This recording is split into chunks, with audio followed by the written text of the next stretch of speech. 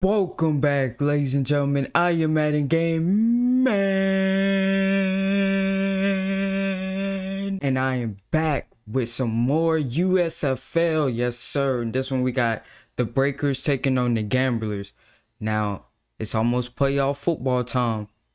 I think I think it starts next weekend if I'm not mistaken. So, this right here this got to be a good game. And it's a 10 minute long video. Come on now. It cannot be an ass whooping. It cannot be an ass whooping. I'm not gonna lie to you. I got, I got the breakers in this one. We gonna see though. I got, I, I feel confidence in, in, in the breakers. But the last time I saw the gamblers, they they played pretty well if I can remember. They they play they play pretty solid. But before I hop into his reaction, I need you guys to like this video right now. Subscribe to your boy if you want more reactions just like this one. Without further ado, let's jump right into it. Oh, USFL. Comes down to this for a chance to Aw, play shit. the South Division Championship. The New Orleans Breakers and the Houston Gamblers. This is a chance for the South Division Championship? Breakers and This definitely gotta be a good game then. Final day of the regular season in the USFL Last game of the regular season. looking for a little running room to the outside as Eli. Uh-oh. But Stove with a good return, brought down by Vogel. Excellent start for the Breakers. Like those. That's how you open it up. Thompson will come out, leads the USFL with 2,207 passing yards. Third in the league in completion percentage. And he's ready to go. communication down can get out of position. Third down and six. Bethel Thompson in trouble. Ball is out and it's covered. Woo, that offensive lineman saved him on that one. Jack Kramer. The Houston Gamblers offense going to work. It's really been a tale of two seasons, Robert, for Kenji Bahar. Last four games, that completion percentage under 55% after having a hot start from a completion standpoint. Quickly, just got it off in time to Bahar. Bahar over the middle finds Zuber, and Zuber trying to get the first down yardage. He's going to be stopped a yard shy. Quick slant caught by Jonathan Adams, and Adams tripped up near the 38-yard line, a first down for the Breakers. Receivers to the top of your screen on third down and seven. Bahar. Protection breaking down. Oh, good spin. On the run, looking for the first down yardage, and he'll be He didn't get the first time, but I like I like the fight right. I like the effort. And looking for that first down yardage, and he didn't get there. How did he not get that? Oh my goodness. On third and one, you don't you don't get a yard. Under pressure, down he goes.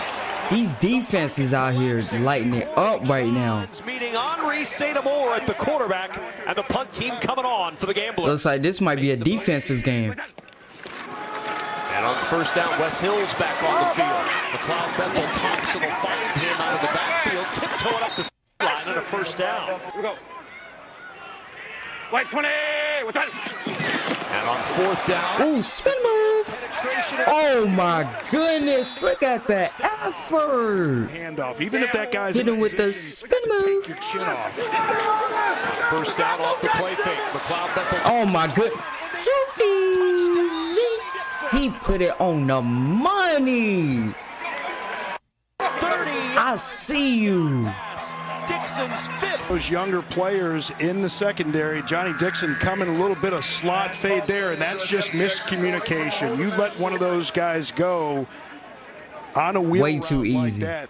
Carries 27 yards for Thompson. This is carry number six. A cut Oh, Leonard Fournette 2.0. I forgot all about him. bounds without and five. He looking to run somebody over. Bahar to the air, to the side. Oh Oh, boy, how was that not? Oh my goodness. 14 did not play that well at all. Cause that should have been a pick. Speaking of picks, a come on with the toe tap. A pick with the toe tap. Look at this. What he does, eyes Bats it to itself, stays in bounds with it. He reads this all along. Look at this. to the path of that throw, gets the interception. As a quarterback, you gotta throw that out of bounds though. Yeah, need to be careful deep in your own end. Don't get a ball tipped. Safe throws only.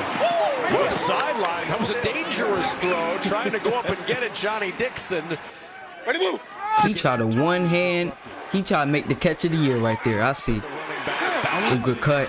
Showing the speed. Like those. And the former So do they got a two-head monster at running back? on second and ten. Bahar Got him. down the side. Oh, Justin Hall. It's God damn, what a catch. And he wasn't ready for the snap,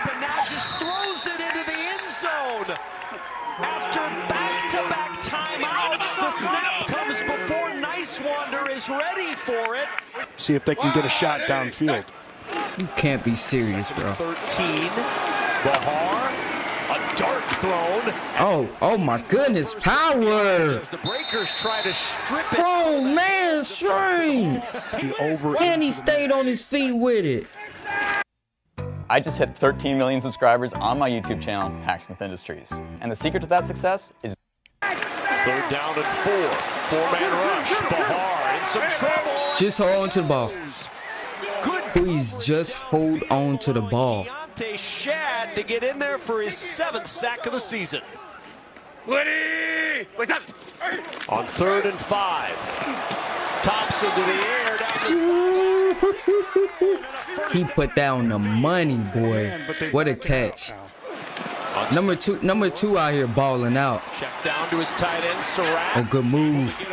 Get away. Surratt getting to the Just hold on to the ball. and all the way down to the 31 yard. I'm tired of seeing fumbles. I've been seeing a lot of fumbles in uh yesterday's game. Oh, too easy.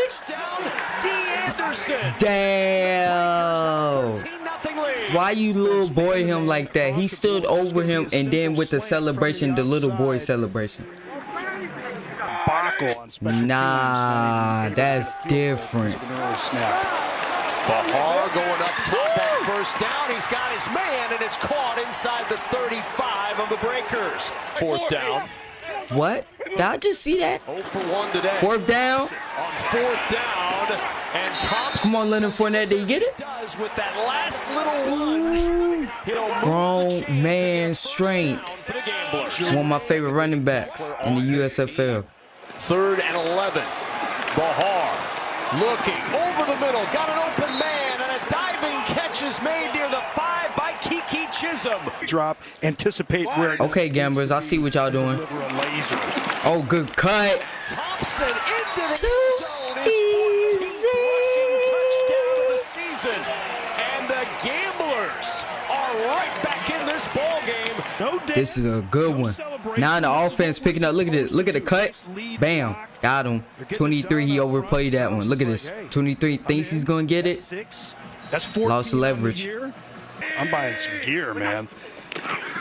Second and one. Off the play fake. McLeod Bethel Thompson short to his tight end. Uh-oh. Surratt up the sideline. And a I like that play call right there. Use the aggressive, use the aggressiveness by gamblers against them. to the air again to the side. Seem like they blitzing every damn play. Damn. Try and get some movement. Third and goal. Looks right, comes left. Pressure has him in Chambers. Damn. He should have thrown that one away.